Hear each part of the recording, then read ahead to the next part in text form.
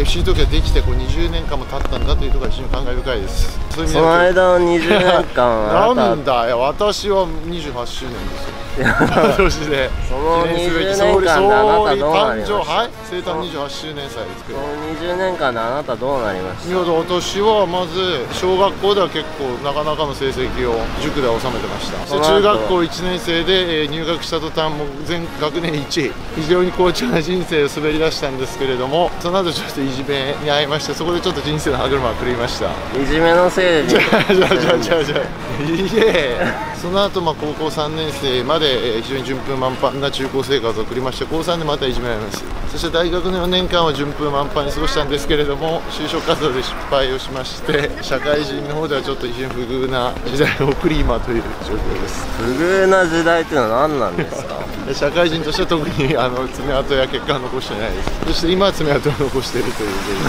ありがとうございます